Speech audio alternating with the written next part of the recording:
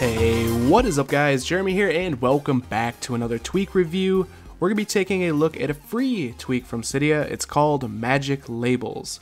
So as you guys can see on my springboard here, all of the icon labels are pretty much colorized uh, and customized to whatever I have put in the settings. So it's kind of cool that you can fully customize all of the icon labels to be exactly, you know, what color you want them to be.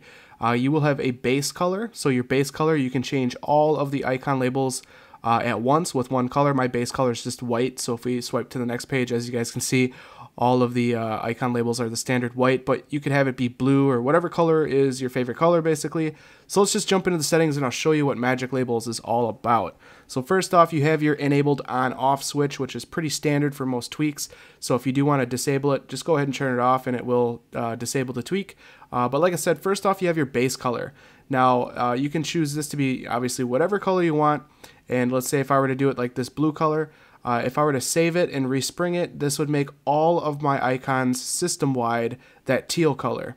So that's basically how that works. I'm not going to make it that color just because I like keeping them white.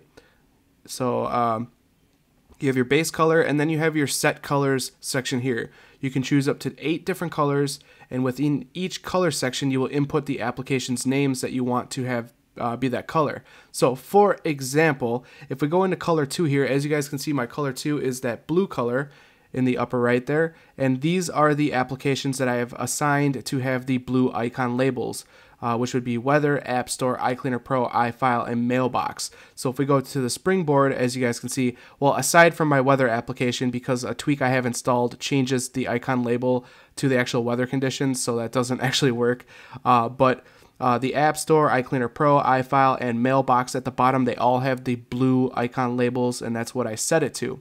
So another thing that's kind of tricky about this tweak is uh, where you input the label, you manually type in the label or whatever icon it is, it is case sensitive. You have to spell it exactly. So as you guys can see with iFile, I have the F as a capital F. If I were to keep that lowercase, it would not change the icon label. It is case sensitive and it is a little tedious. So if we go on to the next color, color 3, actually I don't have color 3 assigned. Color 4 is green, so we have Google Maps, phone, Spotify, FaceTime, and photos. Uh, and you can have quite a few different applications, you know, um, assigned to that color. Um, if we go back out to the home screen here, as you guys can see, photos, Google Maps, uh, phone, Spotify, and FaceTime, they all have the green icon label.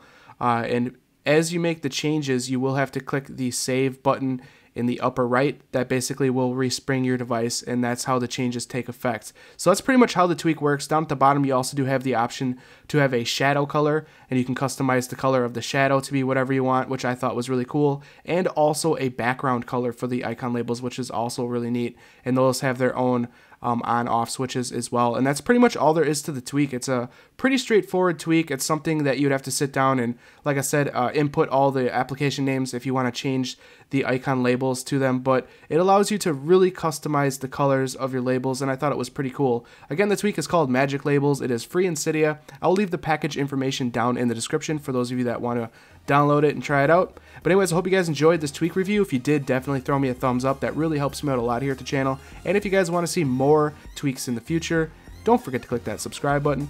This has been Jeremy, and I will catch you guys in the next one. Later.